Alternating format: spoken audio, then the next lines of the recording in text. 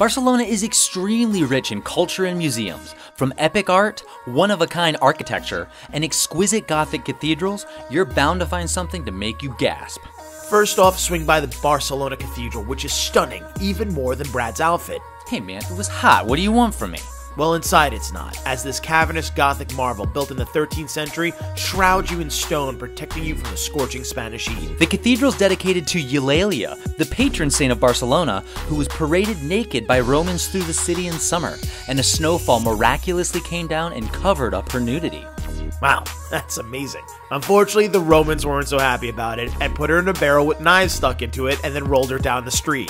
Yikes! Which easily transports you back to medieval times as you walk through the choir stalls for the Knights of the Order of the Golden Fleece.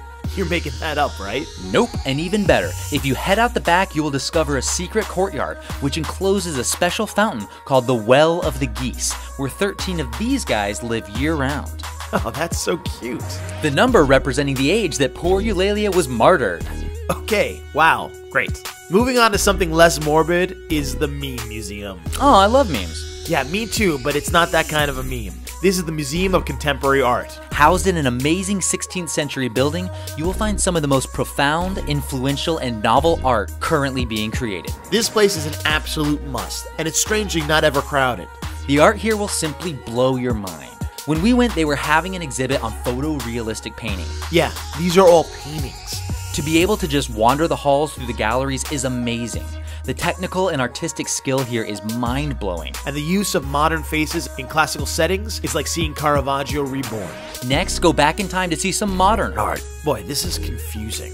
At the Fundació Joan Miró, Here you can see some of the famous artists' most unique pieces. like sculpture and some amazing large format tapestries. But we were really interested in this Mercury fountain that we heard about. One of the most beautiful, if not most deadly fountains in the world, the Calder Mercury Fountain celebrates the town of Almaden, Spain, which was then the largest producer of the element for many years. While you're up on Montjuic Hill, swing by the castle, which is one of the great symbols of Barcelona. This well kept 17th century fortification is great to wander around, but best of all, you can get an amazing view of the city if you venture up top and walk the walls. Next, descend back down to the busy streets and take a stroll down Paseo Gracia, which is basically a museum you can walk through.